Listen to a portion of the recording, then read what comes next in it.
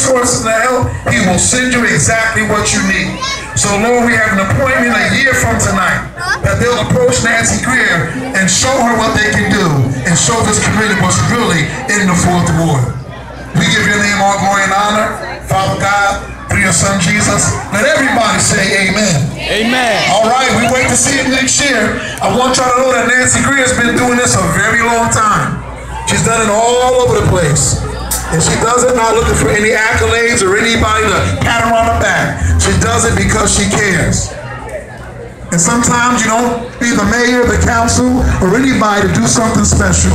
And Nancy Greer, give it up for her, give it up for her. Nancy Greer has proven time and time again. It's not the title, it's the size of your heart.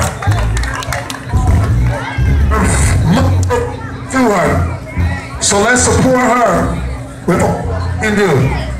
Thank you so